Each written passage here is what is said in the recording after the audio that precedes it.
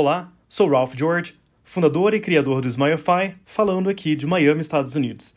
Primeiro, quero agradecer ao Dr. Paulo Cano e Fábio Andretti pelo convite para apresentar o Smilefy. E para mim é uma honra fazer parte do SBOD.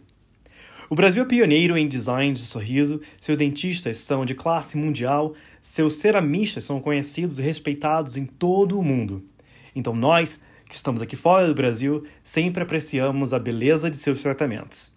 Em 2016, fundei a empresa Smilefy, uma empresa que criou tecnologias para odontologia de design de sorriso. Também em 2016, eu integrei pela primeira vez a análise facial digital na odontologia.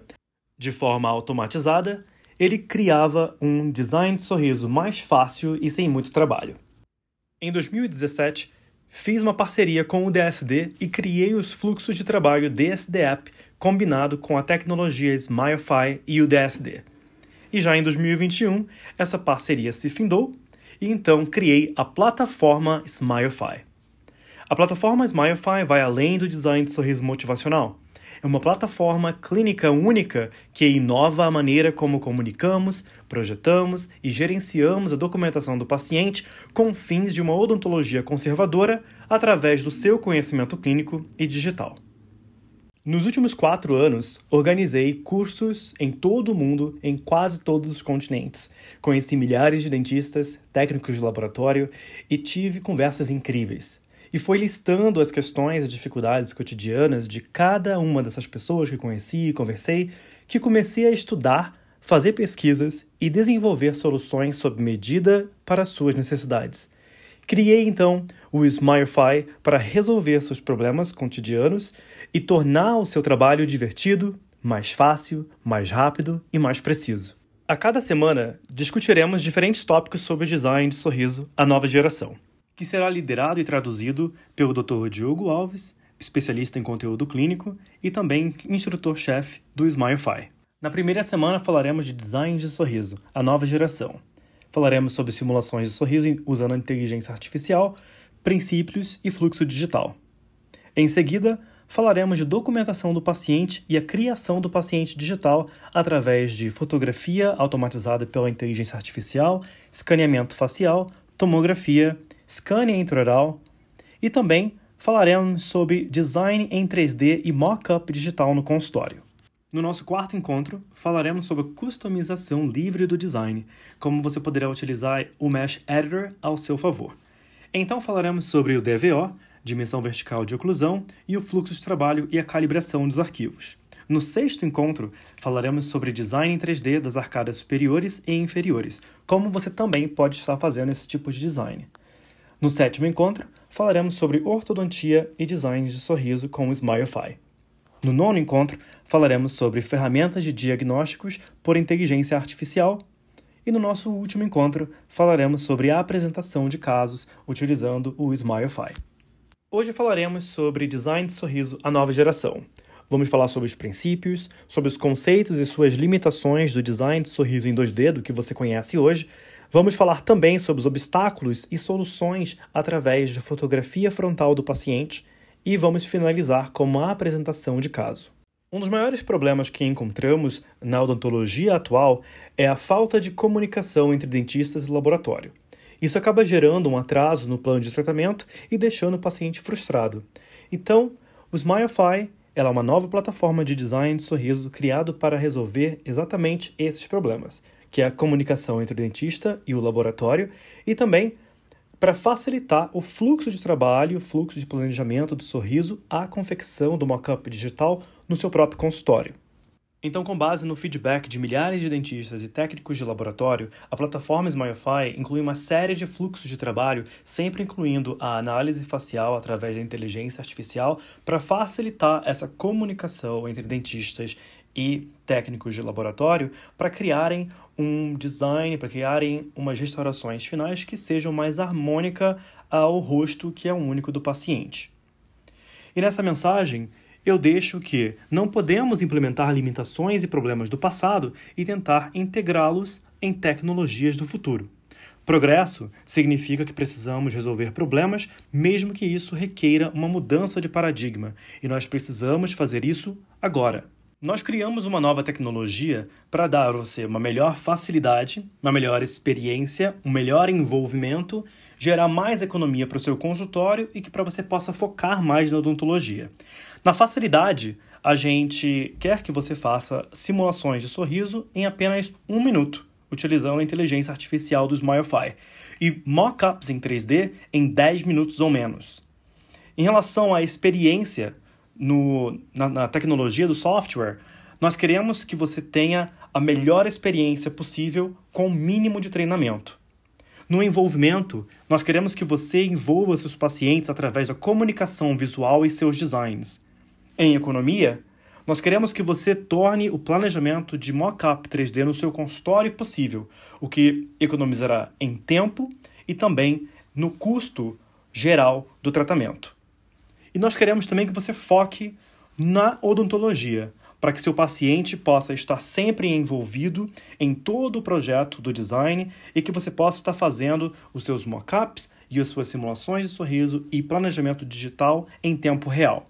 Então vamos falar sobre o design de sorriso atual, o fluxo de trabalho e suas limitações.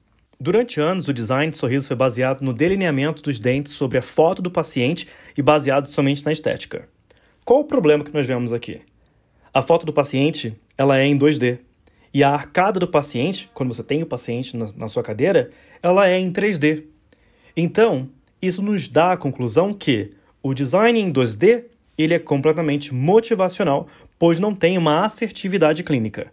Depois, com o avanço do sorriso em 2D, outros documentos passaram a ser adicionados ao design de sorriso, como o scanner intraoral, tomografia, Porém, para a criação de um mockup 3D, há uma discrepância entre os arquivos, onde o arquivo 2D é baseado em uma foto e o arquivo em 3D, como o nome já diz, que se torna um arquivo tridimensional, o que gera ou gerava ajustes mais demorados para a confecção do mockup em 3D e também necessitava ou necessita, com outros softwares, um autoconhecimento em tecnologia. Então eu criei o paciente digital na plataforma SmileFi, que é onde você integra todos os arquivos do paciente digital, como fotografias, scanner intraoral, escaneamento facial e tomografia, para então calibrar todos esses arquivos, para criar então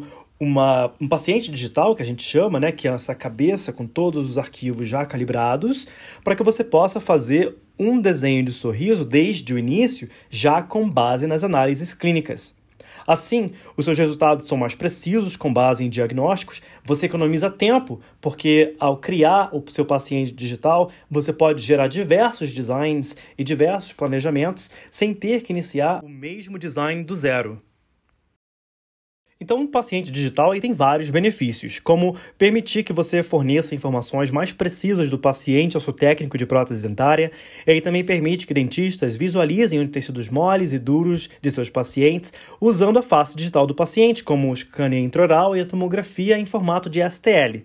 Ele melhora a comunicação com o paciente, né, que é uma grande experiência que o paciente vai acabar tendo, quando você mostra esse paciente digital mostrando as condições atuais e como que o encerramento digital irá ficar, mesmo antes de imprimir através desse paciente digital. Então, o SmileFi tem dois princípios e a gente quer compartilhar eles com vocês. O princípio número um é que a simulação de sorriso em 2D ele é poderoso, porém ele é superficial, pois através dessa simulação de sorriso que é em 2D, ele não consegue ser transpassada para um mockup 3D.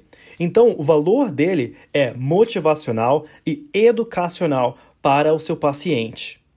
Além disso, ele também serve como uma ajuda na pré-visualização do seu planejamento, o que abre a sua mente e a mente do seu paciente de como o planejamento em si pode estar prosseguindo.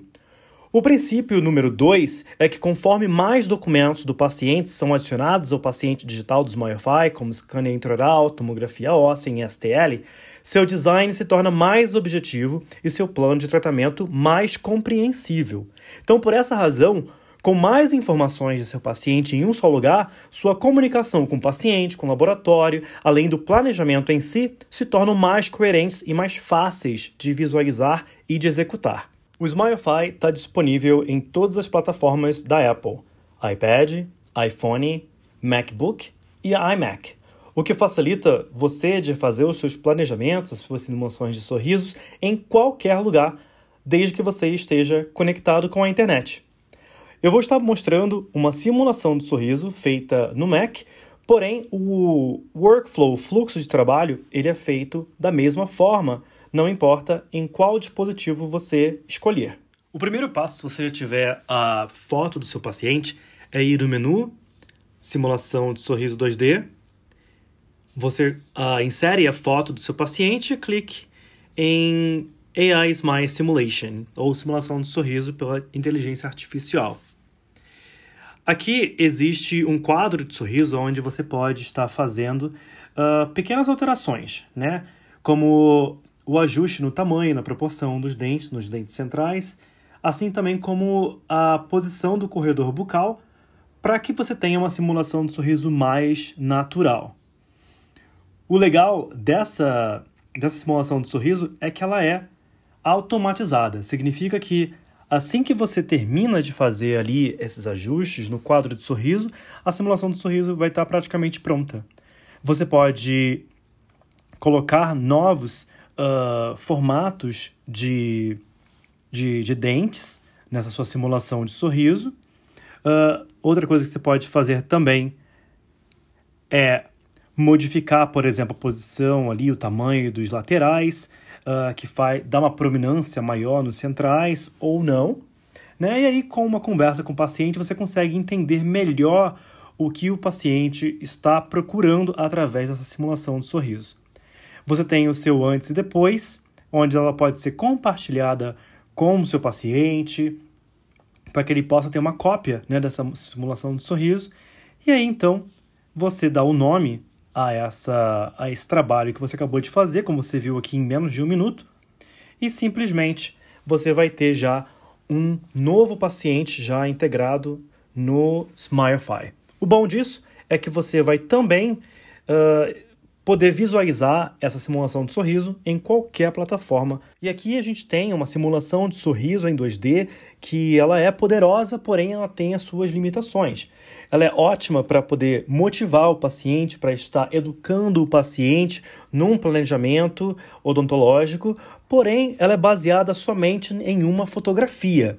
A validade clínica dela é bastante limitada por ser em duas dimensões e não ser em três dimensões. Então, por essa razão, a simulação do sorriso em 2D ela deve ser de forma automatizada, de forma como vocês veem através do Smilefy, e não tomar mais do que um minuto do seu tempo, pois a gente sabe que o tempo clínico é muito alto, o custo do tempo clínico é muito alto, e assim também faz com que o paciente entenda de forma visual o plano de tratamento e isso aumente o que a gente chama de ticket médio ou aumente o valor de cada tratamento, de tempo de cadeira, de cada procedimento, através de uma comunicação visual e melhor aceitação do plano de tratamento.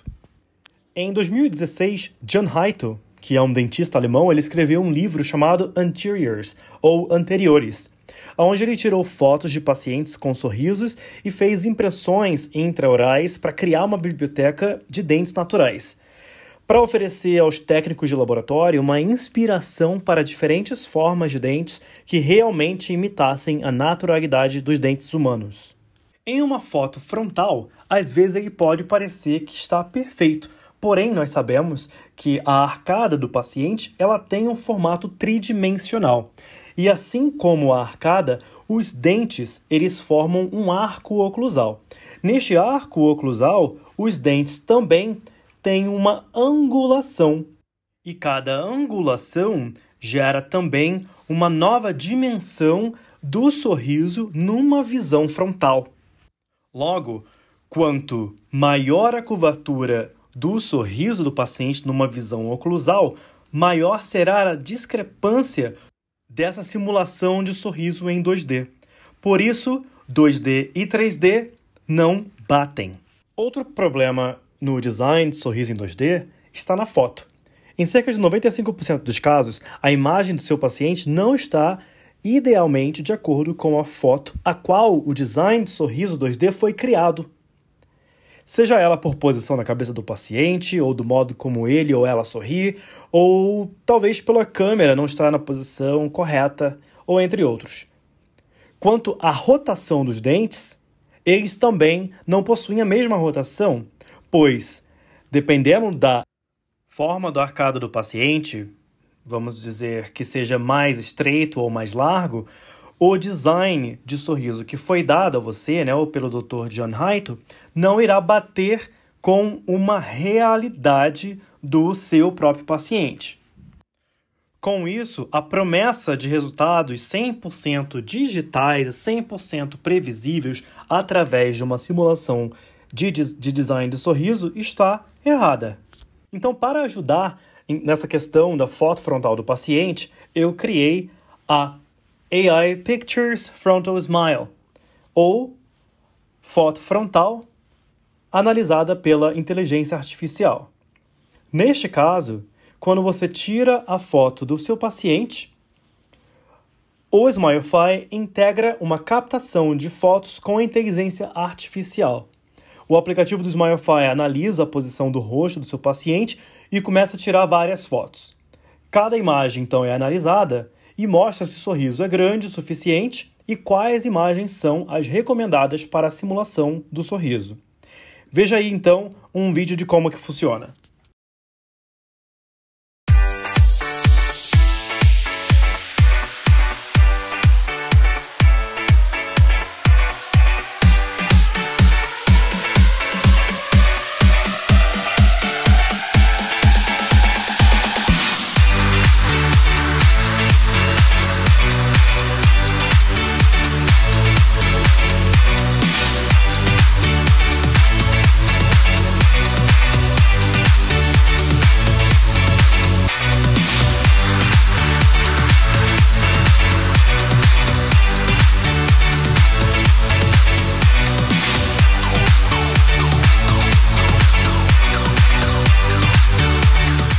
Para você que está assistindo essa palestra, que utiliza a simulação de sorriso para fazer o planejamento completo do seu paciente, a simulação de sorriso apenas com uma foto, ele não tem o valor clínico suficiente para o seu planejamento, ele é apenas motivacional.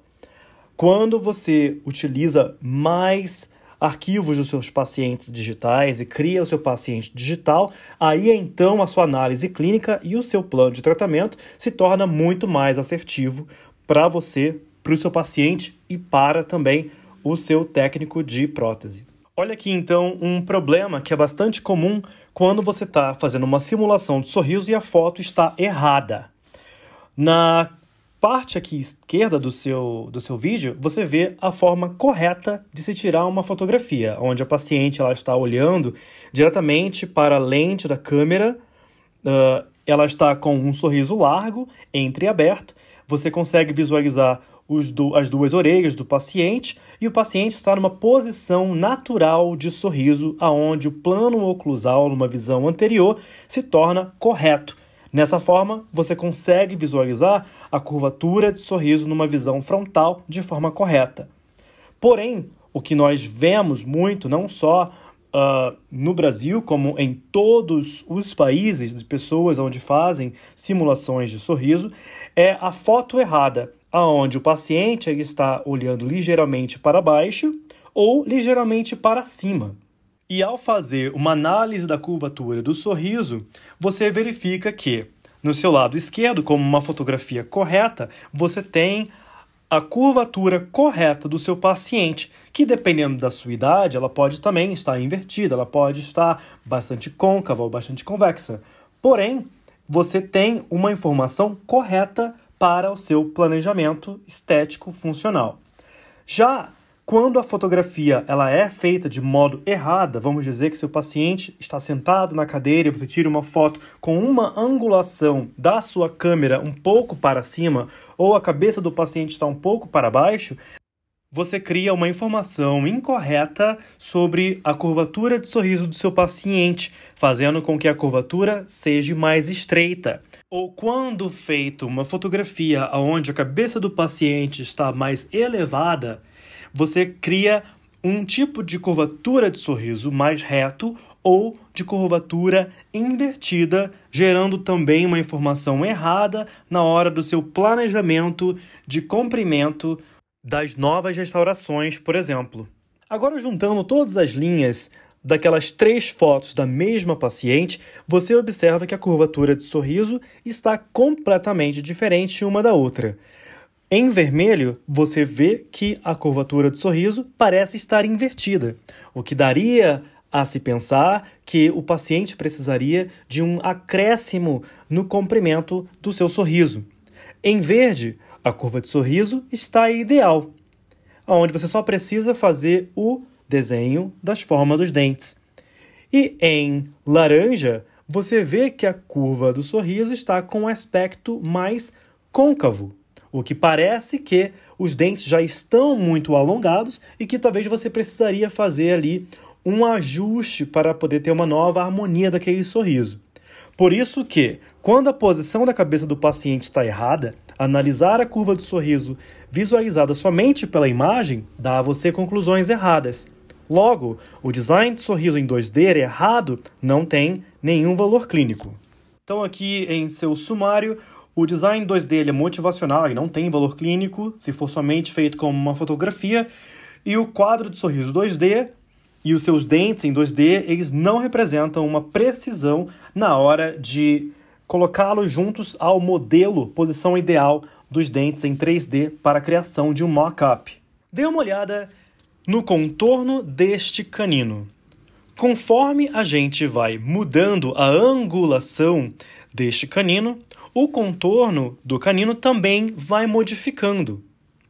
Isso mostra que, numa simulação de sorriso, você não está modificando também na angulação mesiodistal desse canino, pois em uma simulação de sorriso 2D você tem uma imagem estática, quando em um mock-up 3D o desenho do sorriso ele vai modificar de acordo com a curvatura oclusal da arcada superior do paciente. Então, aqui em verde, nós temos a posição inicial daquele canino, que estava em 35 graus.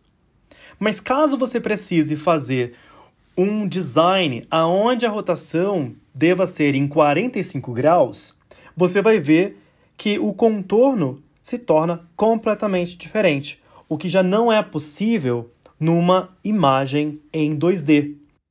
Portanto, a representação do tratamento estético não é precisa e exata, o que cria expectativas erradas tanto ao seu planejamento quanto ao paciente e ao técnico de prótese dentária. Quando você cria uma simulação de sorriso em 2D, você está esticando o quadro de sorriso para os lados, sem rotacionar o design, o contorno do sorriso em si.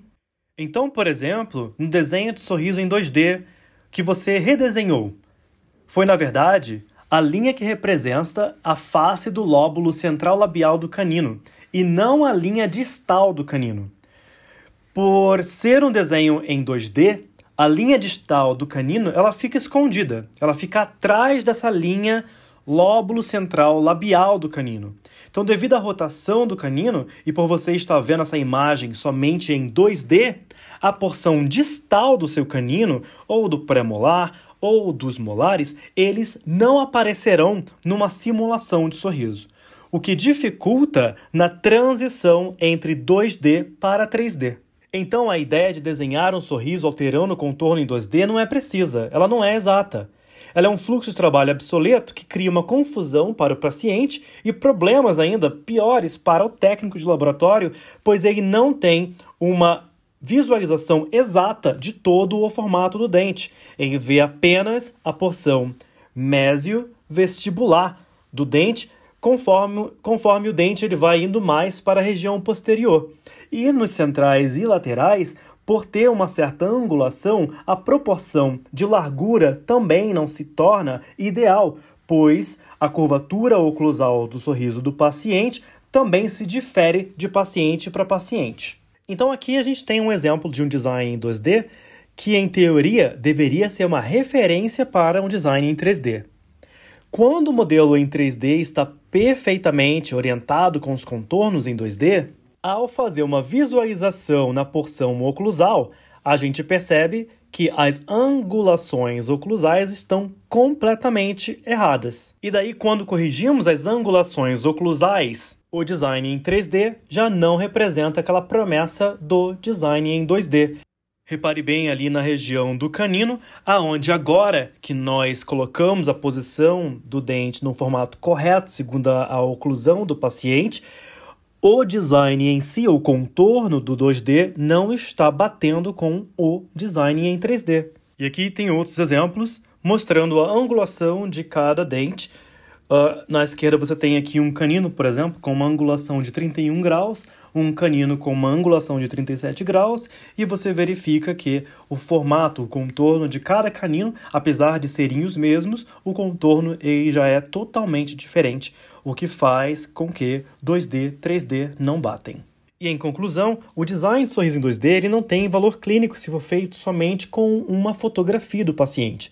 E em uma perspectiva de negócios, ele não pode demorar mais do que um minuto para ser criado. Por isso que nós temos a simulação de sorriso através da inteligência artificial, o que adianta o seu tempo, faz com que o seu paciente seja motivado e que você possa então estar prosseguindo com mockups em 3D para elaborar de fato um planejamento que seja melhor para o seu paciente. Como a odontologia é precisa e exata, para que o design do sorriso seja mais preciso, você precisa de ao menos uma foto do sorriso do seu paciente, além de o scanner intraoral e ou uma tomografia do seu paciente. Aqui nós temos um caso, uma paciente do Dr. Felipe Saliba, uma mulher jovem que apresenta um sorriso gengival. O desejo da paciente era de colocar laminados cerâmicos, porém, como que podemos utilizar o conhecimento clínico e a tecnologia para criar um design de sorriso que seja mais preciso? E como podemos visualizar um tratamento estético para se comunicar com precisão com uma paciente nas primeiras consultas? Em um caso de sorriso gengival, por exemplo, a simulação de sorriso em 2D foi feita com uma fotografia frontal, escaneamento intraoral e tomografia óssea, aonde o scanner intraoral e a tomografia óssea foram convertidos em formato STL. Então, a primeira coisa a se fazer no planejamento digital é tirar uma fotografia correta do paciente, onde o paciente vai estar com um sorriso entreaberto, olhos olhando para a lente da câmera e posição natural da cabeça. Você fará então uma simulação de sorriso apenas com uma fotografia para entender ou educar melhor o seu paciente, conseguir entender em formato de sorriso, qual é o tipo, se ela quer os dentes uh, de formatos mais arredondados, mais triangulares, para que você possa estar iniciando também ali uma análise facial da paciente.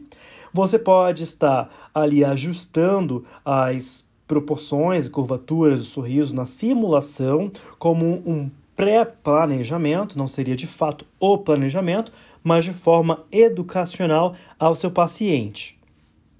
Então, ao clicar em AI Smile Simulation, você verificará que a, o desenho de sorriso vai estar sendo posto sobre a, a boca dele, os dentes do paciente, criando então de forma rápida a simulação de sorriso.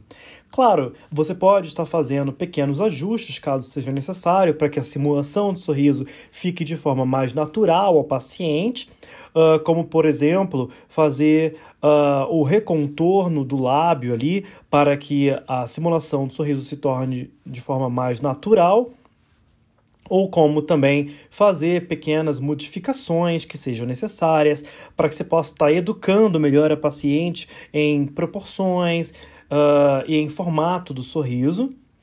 E então você faz uh, o seu antes e depois, né? Que nós temos aqui um slider que é de antes e depois do sorriso do paciente, que deixando bem claro ao paciente é uma simulação. O planejamento em si, ele será feito após a coleta de mais informações digitais do seu paciente. Neste caso, a paciente motivada, nós então podemos prosseguir para um design de sorriso em 2D que tenha mais precisão. Ainda assim é um design em 2D, mas para uma análise, um estudo para o planejamento, quando você coloca outros documentos digitais, como o scanner intraoral e a tomografia óssea em formato STL, você então estará tendo uma visualização do design que você criou, assim como as características do tecido mole que está na, no scanner intraoral e tecido duro que está na tomografia. A primeira coisa que a gente faz é, é fazer a criação do paciente digital, aonde você estará fazendo a calibra calibração de cada uh, arquivo. Né? Nós temos aqui a face da paciente como referência, e então nós fazemos primeiro a calibração do scanner intraoral, como a calibração da tomografia óssea também. Então, como é que é feito? Você vai uh, colocar três pontos em cada arquivo: no canino, no central e no outro canino. E vai posicionar esses pontos no mesmo local na sua tomografia. E então os dois arquivos eles irão uh, se sobrepor, criando então o paciente digital. E então, para que você possa ter uma calibração mais exata, você pode utilizar os comandos que já estão disponíveis no Smilefy em todas as plataformas, para que você possa estar fazendo ou um rotacionamento ou uma direção um pouco mais para mesial, um pouco mais para distal. Você pode também uh, gerar ali uma translucidez em cada arquivo digital para que você possa ver o exato, a exata calibração de todos os arquivos. Então agora que os arquivos já estão calibrados, o paciente digital ele também é criado. Então através desse paciente digital, o que, que acontece? Aquela simulação de sorriso que você criou inicialmente, ela vai estar se sobrepondo ao paciente digital. O mesmo aconteceria se você fosse iniciar um projeto em 3D, um mockup em 3D. Mas vamos focar aqui na simulação de sorriso em 2D com os arquivos digitais do paciente. Aqui, agora com os arquivos digitais, você pode ter mais precisão no seu design de sorriso. Como você consegue visualizar os dentes, os tecidos moles do paciente, você consegue fazer um contorno, apesar de o contorno ser somente em 2D, você consegue fazer o melhor contorno do seu desenho de sorriso para uma melhor análise para o seu planejamento futuro.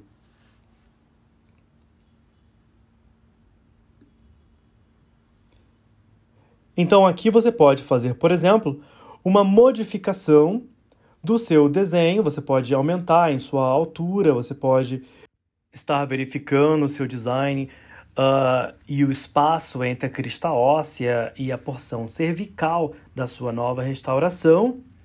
E ao clicar em próximo, o que você consegue visualizar é um estudo melhor do seu planejamento, apesar de ser em 2D, você pode estar fazendo uma medição da região da margem gengival livre e a porção mais cervical do seu design de sorriso, aonde a altura fica de forma mais precisa. Não a largura, pois a largura do design de sorriso ela não está coerente devido à sua curvatura da arcada do paciente em si e as limitações do design em 2D, Porém, a altura se torna mais precisa, pois você tem ali o próprio arquivo digital do paciente, o design de sorriso e o tecido mole e ósseo para que você possa ter uma melhor visualização e planejamento para a cirurgia em si. Lembrando que através dessas medidas, você também deve estar fazendo essas medidas clinicamente com uma sonda periodontal para poder fazer uma avaliação clínica e confirmar o digital com o clínico, para então realizar o procedimento conforme foi planejado digitalmente. Uma vez salvo, essa documentação ela vai estar gravada em todas as plataformas uh, do Smilefy, no iPhone, no iPad ou no MacBook, e você pode estar apresentando este planejamento ao seu paciente, você pode estar compartilhando com outros dentistas para segundas opiniões, caso seja necessário. E o mais legal é que você pode também estar fazendo uma exportação em PDF de toda essa documentação, criando então uma apresentação para o seu paciente, para melhor educar o paciente em outras possibilidades, além de ah, os laminados que a paciente inicialmente tinha em mente. Neste caso, foi notado que os próprios dentes naturais da paciente estavam uh, por trás do sorriso gengival dela. Então, o planejamento clínico e digital pôde mostrar de forma visual à paciente um planejamento mais preciso e mais conservador. Muito obrigado pela atenção e espero que tenham gostado da primeira palestra do Smilefy The Next Generation of Smile Design. Eu estou bem ansioso para vê-los novamente para a nossa segunda palestra. Espero que vocês fiquem bem e caso vocês desejam, vocês podem estar baixando o aplicativo Smilefy no App Store.